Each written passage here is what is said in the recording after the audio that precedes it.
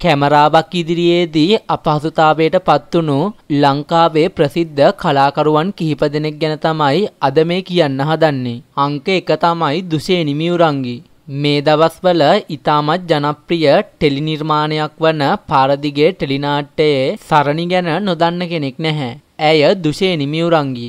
දුෂේනී යම් නාලිකාවක සජීවීව විකාශය කෙරුණු විනෝදය සහ ඉවුම් පිහුම් කලාව ගැන කලාකරුවන්ගේ හැකියාව මතු කරන වැඩසටහනකට එක්වුණා. එම වැඩසටහනේදී ඇය එළවලු සහ පලාවර්ග හඳුනා ගැනීමේදී ඒ පිළිබඳ ඇයගේ බුද්ධිය නිසා යම් අපහසුතාවයකට පත්වෙනවා. දුෂේනි තුඹකරවිල කාමරංග ලෙසත් මුකුණු වැන්න කතුරුමුරුංග ලෙසත් හඳුනා ගැනීම නිසා එහිදී ඇය යම් අපහසුතාවයකට වගේම අනෙක් කලාකරුවන්ගේ සිනහවටත් ලක්වෙනවා. අංක දෙක සහ තුන තමයි දසුන් මදුෂාන් සහ ශනුද්‍රිප්‍රියසාත්. දසුන් සහ ශනුද්‍රිත් එක්තරා සජීවී ටීවී වැඩසටහනකට එක්වුණා.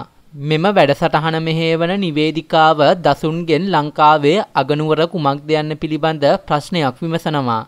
මෙම අවස්ථාවේදී දසුන් ලංකාවේ අගනුවර මහනුවර යන්න පැවසීමත් සමග නිවේදිකාවගේ සහ ශනුද්‍රිගේ සිනහවට ලක් වෙනවා. දසුන් දීපු පිළිතුර වැරදිද කියලා හද්දී ශනුද්‍රි තව හයියෙන් hina වෙනවා. මෙම වැඩසටහන මෙහේවන නිවේදිකාව මීට පස්සේ සනුද්‍රිගෙන් අහනවා ලංකාවට නිදහස ලැබුණු වර්ෂය කුමක්ද කියලා. ශනුද්‍රිගේ පිළිතුර වන්නේ නම් එක්දාස් නමසිය හැට හතර. ශනුද්‍රිගේ මෙන් පිළිතුරත් සමග වැඩසටහන මෙහේවන නිවේදිකාව පුදුම වෙන අතර මෙහිදී දසුන් සහ ශනුද්‍රි දෙදෙනාම යම් අපහසුතාවයකට පත් වුණා.